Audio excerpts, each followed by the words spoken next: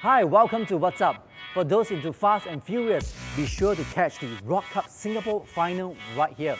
And also into its second terms of Responsibly Gambling Awareness Week campaign, Singapore Turf Club continue to play its vital role in support of the movement within the industries. Let's check it out. The Rok Cup Singapore was launched early this year at the KF1 karting circuit at Singapore Turf Club. And after three exciting qualifying rounds, we have reached the finals and the champions of Rok Cup Singapore were crowned. Let's check out all the actions.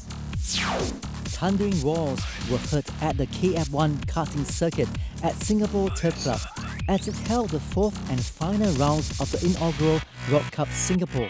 Being the only Asian country to host the Rok Cup, the race had drawn large crowds and saw many young racers competing. So tonight's event is very special because it's the grand finale and they'll crown the champion for the inaugural STC World Cup.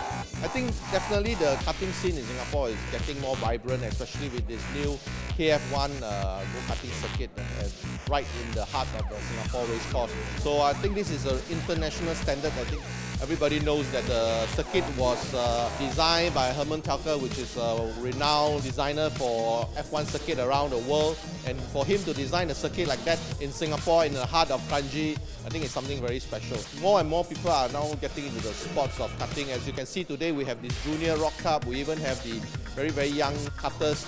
So they are going to be the future of uh, the karting drivers in Singapore in the future. And get them started young and slowly move on, I'm very sure that the entire karting scene in Singapore will hot up. There are altogether six races for age groups ranging from 9 to over 40 years old, and all group winners will get a chance to compete for the Rok Cup International Final 2015 in Italy in October. The Singapore Turf Club recently hosted the Responsible Gambling Awareness Week campaign. It was well received and our customer had a memorable experience while learning more about responsible gambling. Let's check it out. Singapore Turf Club has collaborated with the Ministry of Social and Family Development to officially launch the nationwide campaign Responsible Gambling Awareness Week at the racecourse. The campaign opened with a lively modern line dance performance and a welcome speech by President and Chief Executive Mr. Yu Pang Fei.